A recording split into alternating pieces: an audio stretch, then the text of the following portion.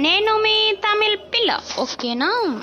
ఈరోజైతే కన్నా ఒక స్నాక్ రెసిపీ చూద్దాము. బెండకాయతో.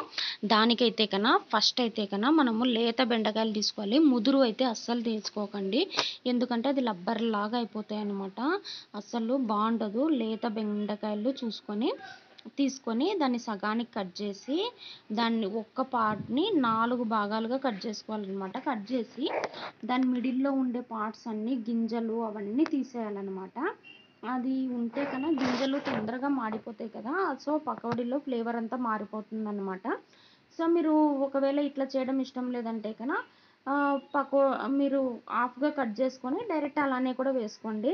అది మీ ఇష్టం అనమాట కానీ ఇలా చేసినా బాగుంటుంది అలా చేసినా కూడా బాగుంటుంది. రెండు రెండు ముక్కలుగా కోసుకొని పెద్దగా. ఫస్ట్ అయితే కన్నా మనము ఇంకా అది కట్ చేసి పెట్టుకున్నాం కదా ఇంకొక ప్లేట్లో అయితే కన్నా బాగా వెడల్పుగా ఉండే ప్లేట్ తీసుకోండి. చూడండి.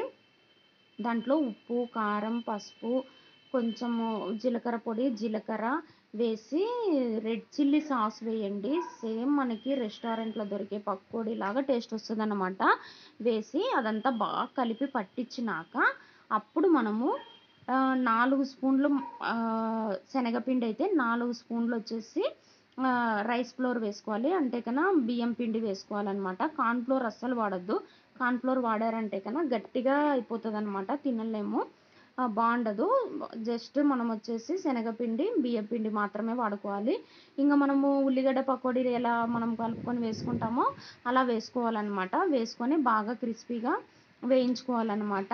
వేయించుకొని ఇంకా ఇదైతే కన్నా అసలు పప్పు చారులోకి కానీ పప్పులోకి కానీ చారులోకి కానీ పెరుగన్నంలోకి కానీ నంజుకొని తింటే ఉంటుంది. ఇంకా నెక్స్ట్ లెవెల్ అన్నట్టే ఇంకా మన డైలాగ్ తెలుసు కదా ఫిదా అయిపోతారు ఇంకా ఇవన్నీ వద్దులే బాబు అనుకుంటే కన్నా ఈవినింగ్ స్నాక్గా చేసుకొని టమాటా కెచప్తో తిన్నారంటే ఉంటుంది.